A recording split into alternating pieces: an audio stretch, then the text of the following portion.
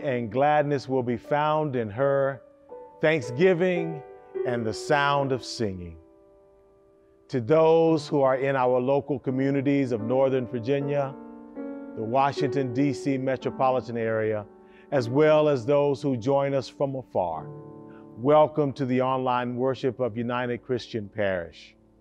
We are delighted for you to experience this worship service that celebrates the grace of God among God's people through an ecumenical movement and an inclusive ministry of four Protestant traditions, which are the Christian Church Disciples of Christ, the Presbyterian Church USA, the United Church of Christ, and the United Methodist Church. Today, during our worship, there is a minute for justice and peace to inspire your participation in work of racial justice and equity. Further information will be included at the end of today's service.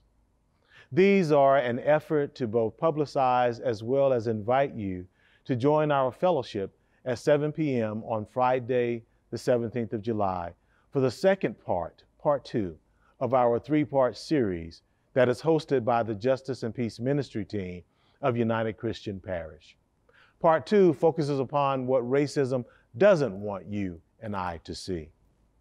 Dr. Lundy Taylor will be our facilitator for the evening, and your presence with us is welcome. Please join us for the call to worship. How shall we sing the Lord's song in a land of suffering? We shall sing of courage and the strength of the Lord. How shall we sing the Lord's song when we feel so lonely? We shall sing of unity and faithfulness, of reconciliation and hope. Come, let us sing the Lord's song this day. Let us praise God in all our ways forever. Amen. Amen.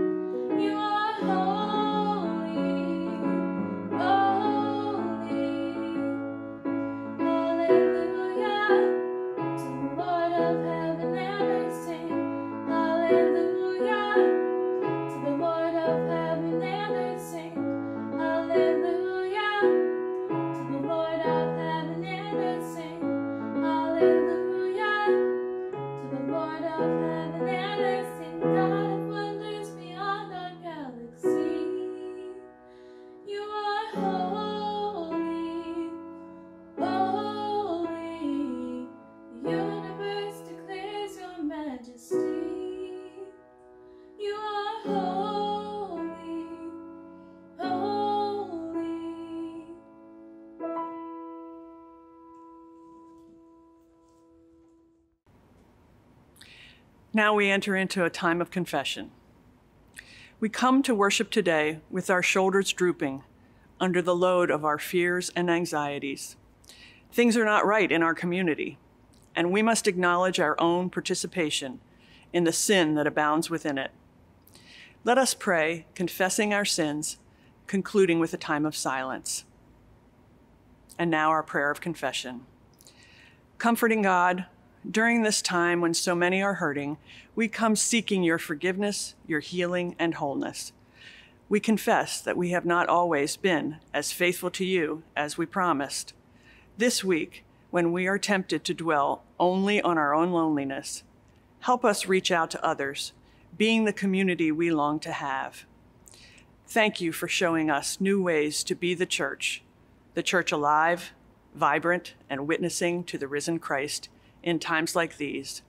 Forgive us, O God, and help us to faithfully sing God's songs in this strange new world. And now let us pray silently.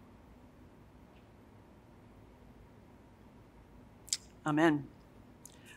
Now, our assurance of pardon. Indeed, times are tough and life seems so very unfamiliar. Even so, we give thanks that our God is changeless, generous, and gracious, and always present, even in this strange and challenging new world that God has gifted to us. And so we can trustingly sing God's songs in this strange new world. Alleluia. Amen.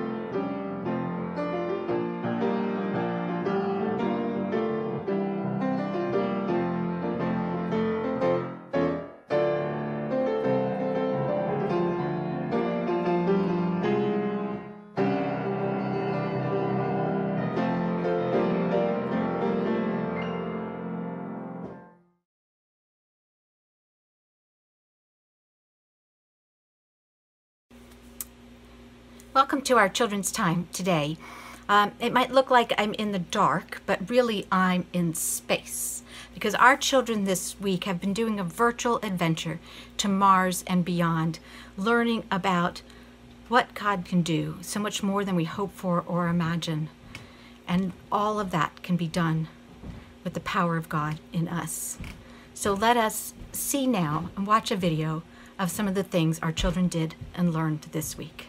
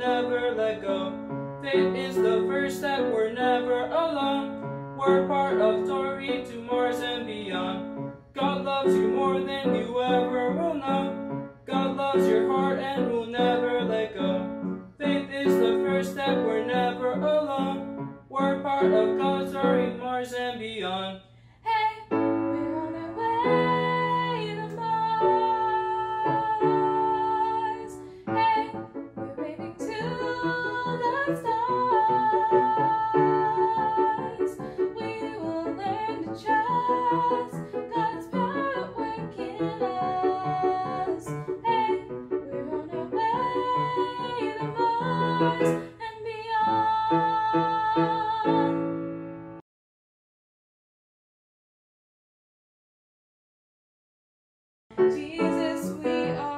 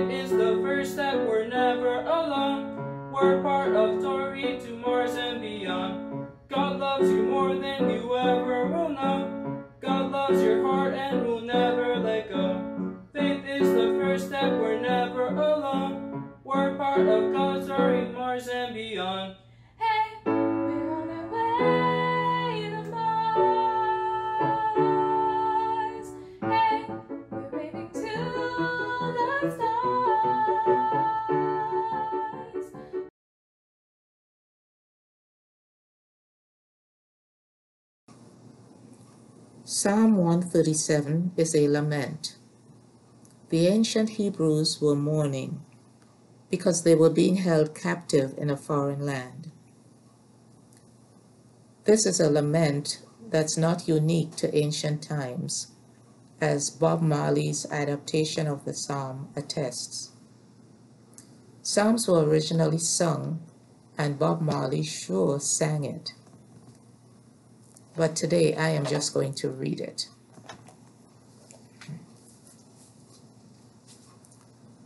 By the rivers of Babylon, there we sat down, and there we wept when we remembered Zion. On the willows there we hung up our harps, for there our captors asked us for songs, and our tormentors asked for mirth, saying, Sing us one of the songs of Zion. But how could we sing the Lord's song in a foreign land? If I forget you, O Jerusalem, let my right hand wither. Let my tongue cling to the roof of my mouth, if I do not remember you. If I do not set Jerusalem above my highest joy. Remember, O Lord, against the Edomites the day of Jerusalem's fall. How they said, Tear it down, tear it down, down to its foundations. O daughter Babylon, you devastator, happy shall they be who pay you back what you have done to us. Happy shall they be who take your little ones and dash them against the rock. This is the word of the Lord. Thanks be to God.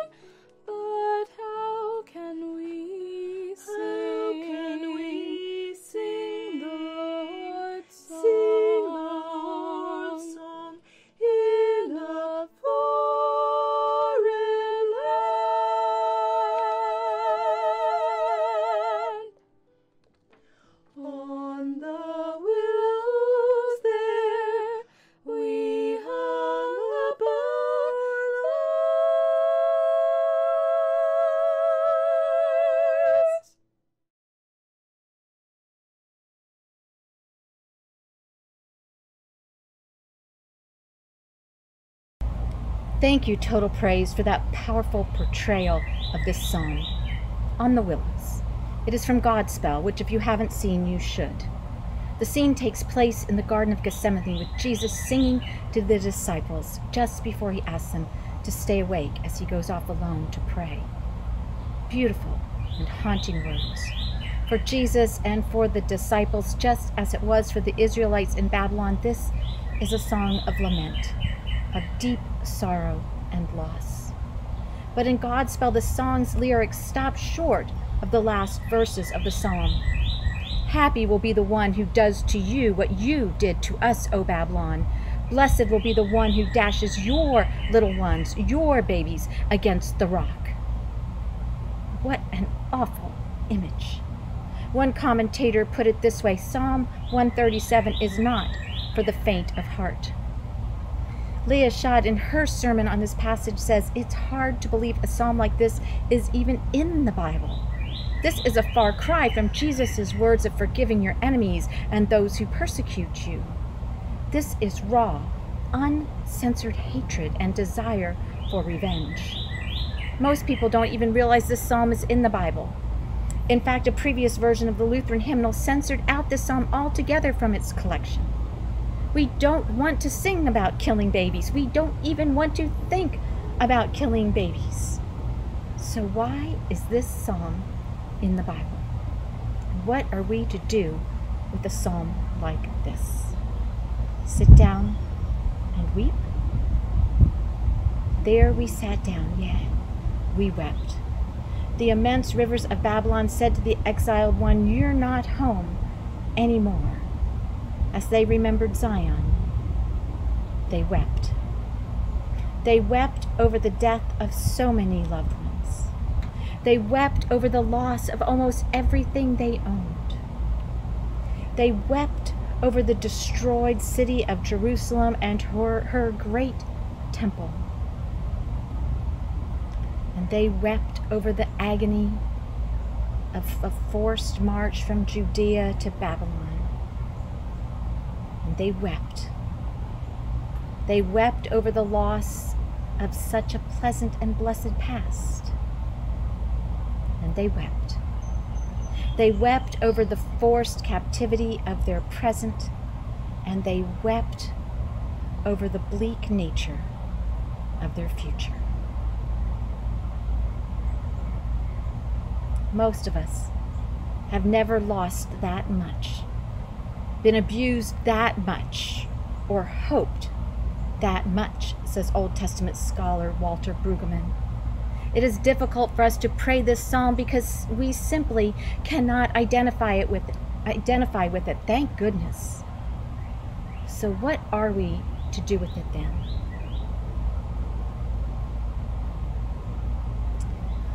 What are we to do with it? Leah Schade says, Here is what we must do. We must listen to the voices of Psalm 137. We must hear the agony and even the expression of the desire for sinful violence. And we must listen to Psalm 137 precisely because it is said in the context of prayer.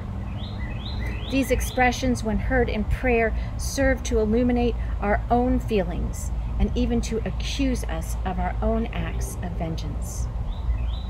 That is what I love about the Psalms. Unlike most of the Bible, it is not God talking to us or even saints talking to us. It is people, people like us, ordinary sinful people like us, talking to God, telling God how we feel, explaining to God what we want God to do, whether or not that's the right thing or not. It is what we are feeling at the moment. And when those feelings are far from beautiful, isn't that just the moment when it would be wise to invite God into those feelings? That's just what the psalmist does here. You see, we have to understand the specific historical event that this psalm makes reference to. This psalm reveals the suffering and sentiments of people who experienced firsthand the terrible days the conquest and destruction of Jerusalem in 587 BC. This was their September 11, their coronavirus. Their temple was destroyed, the very center of their faith. They were uprooted and alienated, and everything familiar was gone. Talk about a new normal. And like the Africans who were brought to this country against their will, the Hebrews were forced into the Babylonian captivity. They were taken far from Jerusalem and subjugated as slaves of the Babylonians.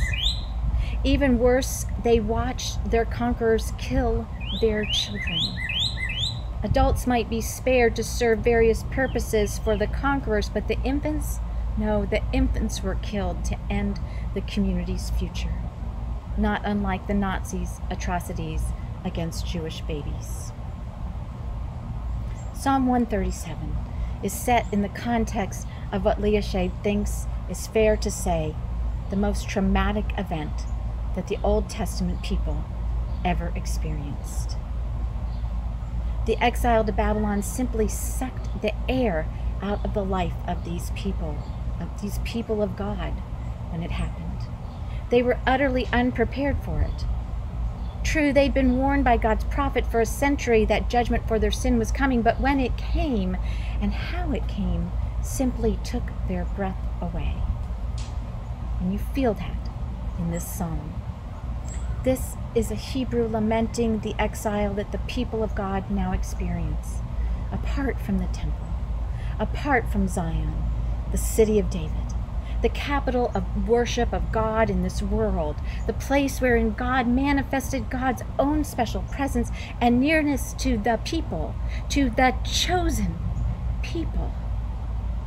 And here they are now, captives in Babylon, homesick, despondent, grief stricken, in a kind of shock Sitting by one of the rivers of this hated land, their captors come along taunting them, ordering them to sing happy songs about Zion. Are they cruel or just ignorant? Of course, they cannot sing happy songs about Zion in this foreign land. So they hung up their instruments in protest. They hung them in the trees. This kind of thing actually happened in the Nazi death camps, where Jews were forced to sing and dance their music and songs while the soldiers mocked them and laughed at them. It was part of the humiliation intending to rob Jews of their identity, their dignity, and their hope. And so, like the message of the Holocaust, never forget. We are to remember so that it will never happen again. The psalmist then makes a personal vow not to forget Jerusalem, to never forget the temple that has been leveled, the city that has been burned, the king and the leaders and the musicians and the teachers who have been led away to captivity in Babylon and then with a fury that nearly explodes from the page in chilling lines, every syllable of which jar our very bones and disturbs our hearts. A curse is called down upon the oppressors of God's people, and we recoil in stunned horror. We erase it from our hymnals, from our songs, from our musicals, not just because of the curse itself, but because of the reminder of the intense suffering that led to the curse being made in the first place. We don't want to be reminded. In fact, we want to keep that kind of suffering far away. We don't want to hear about the history of slavery and Jim Crow. We don't want to hear about the Holocaust and anti Semitism. It's so much easier to forget the ugly history of what Europeans did to the native peoples of North America. But Walter Brueggemann suggests that, that is, it is absolutely necessary to listen to this psalm. Psalm 137 gives permission and actually authorizes the powerless who have been brutalized to vent their indignation and turn to God for justice. It is an act of profound faith to entrust one's most precious hatreds to God, knowing they will be taken seriously. Let me repeat that. It is an act of profound faith to entrust one's most precious hatreds to God, knowing they will be taken seriously. In praying this way, we are not offending God by our words. Rather, we are actually trusting God to hear and to respond in God's perfect way. Not our way, not the expedient way, not the way we planned, not in the time we demand, but in God's perfect way and perfect timing. We do so knowing God promises to hear and to act. And so that is finally where we must direct our prayers. John Calvin claims that the Psalms provide an anatomy of all the parts of the soul. They are our voice praying the prayers of praise, penitence, hope, lamentation, loss, faith, fear, and rage. The Psalms give us permission permission to grieve, permission to wail, and permission to, yes, even permission to curse when we are suffering. And though we may not have been ripped from our land and brought into captivity, many are still suffering from the results of exactly that very thing happening. Though we are not in a strange land, this time and this place that we are living in can feel like a strange land, a land full of masked strangers, a land where we fear being with one another, a land where we cannot gather in our beautiful sanctuary and worship together, a land calling out for justice long withheld, a land in much need for healing both physically, emotionally, and socially, a land where no end is in sight, where there is so much work to be done, and we are tired. And so we want to sit by the river and weep. We want to hang our instruments on the willows. We ask ourselves, how can we sing our songs in this strange place? And literally, right now, we cannot. We cannot sing our, sing our songs together, that is. But we can and do still sing, not in spite of our lament, but because of our lament. Our Vacation Bible School scripture reminds us that God can do more than we can hope for or imagine. And so, yes, with God, we can sing in a strange land, and we must sing in a strange land. Maybe not songs of joy, but songs just the same. I was reminded by a comment from Eric in a conversation with Kathleen Elder, who read the scripture so beautifully today, of the song Rivers of Babylon originally sung by the Jamaican band the Melodians, but you may remember it sung by Bob Marley. If you haven't heard it, Google it. As Eric says, the lyrics are taken only from the first half of the psalm, which didn't surprise me. I couldn't imagine Bob Marley singing about dashing babies on rocks. And Eric concluded his email with a very sad, smiley face. Robert Brimlow, a white man from Brooklyn who loved this music, in his reflections on Psalm 137 said, I loved that song even before I knew what it meant, even before I knew I couldn't get it entirely. What I did not realize then and what I can only dimly grasp now is how the song is a capturing of the African experience, a view of African life in the West through the lens of Israel. Never mind that King Alpha refers to the Emperor Haile Selassie and the curious theology of the Rastafarians. The song encapsulates what some theologians have urged us in the Christian community to do. Rather than interpret Scripture and apply it to our lives here and now, we need to interpret the here and now and apply it to Scripture. The story of the Babylonian captivity of Israel, their longing for Jerusalem, and their experience of being aliens in a strange land is the story of the African slave. Even if we have not experienced what it is to be slave and tormented by political powers, the psalmist's voice does capture the sense of desolation and abandonment, of feeling a stranger, even within our own skin. And that, I think, many of us have felt at least on one occasion, that many of us may be feeling right now. By the rivers of Babylon, there we sat down, yea, we wept, when we remembered Zion.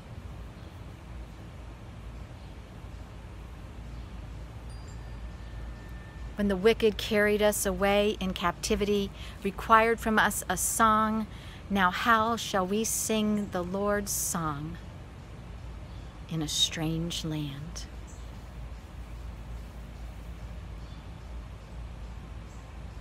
So now I ask you, what songs are we singing?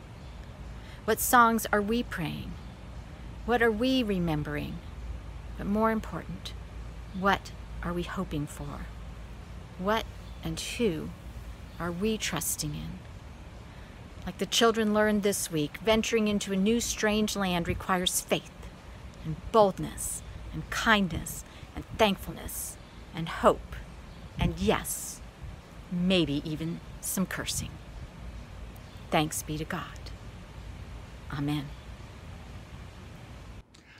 Our Minute for Justice this week is letting you know that this Friday, July 17th, from 7 to 9 p.m., the Justice and Peace Ministry Team is hosting a second online racial justice conversation. This one will focus on what individuals who are white bring to the table without realizing it white fragility, implicit bias, and a tendency to commit microaggressions toward people of color. We will have a guest facilitator for this session who is skilled on this topic. Please join us on Friday for a helpful and productive session. The Zoom link will be listed in the weekly church email. People of color are welcome because you have much to add to the conversation from a different perspective. At this time in our worship, it is my honor to share a moment in what we offer as the prayers of the people. God, we will continue to trust in your steadfast love, and our hearts shall rejoice in your salvation. With grateful praise, we will sing to you, because you, O God, have dealt bountifully with us, your people.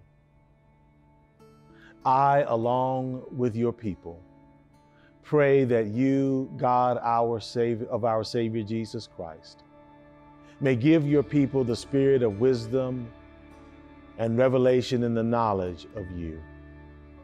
On behalf of all of our brothers and sisters in the world, we pray that you, our magnificent Creator, would enlighten the eyes of our understanding in order that we may know the hope of your calling, the depth of your glory, and what is the exceeding greatness of your power.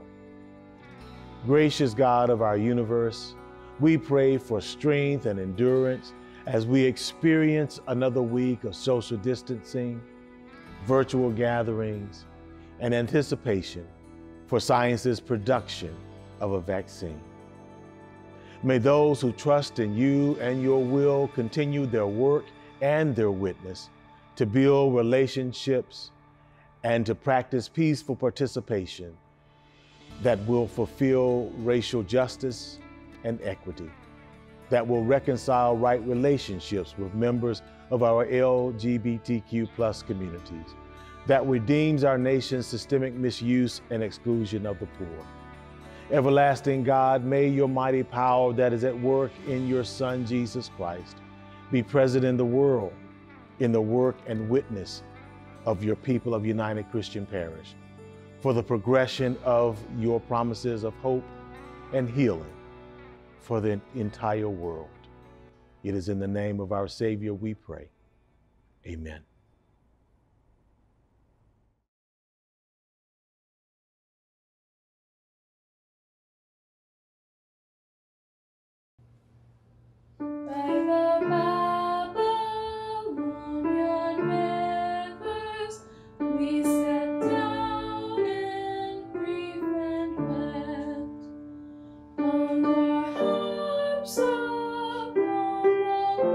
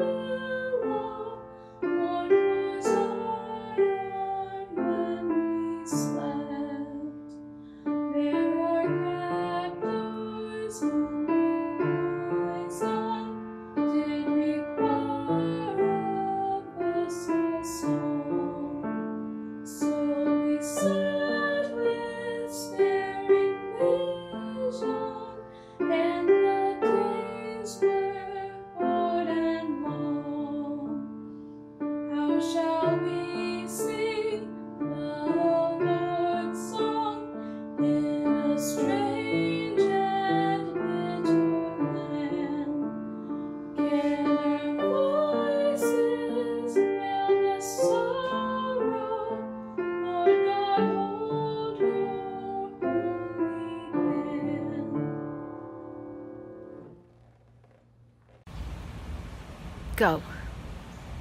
Go knowing that there is nothing you cannot take to God. Go knowing there is nothing that God cannot do. And go knowing that this God of the Israelites, the God of the African slave, the God of us today, is there with us as we weep weeping with us, weeping for us, and moving us into hope. So go in peace to love and serve the Lord, and may the peace of Christ, the love of God, and the fellowship of the Holy Spirit be upon you now and forevermore. Amen.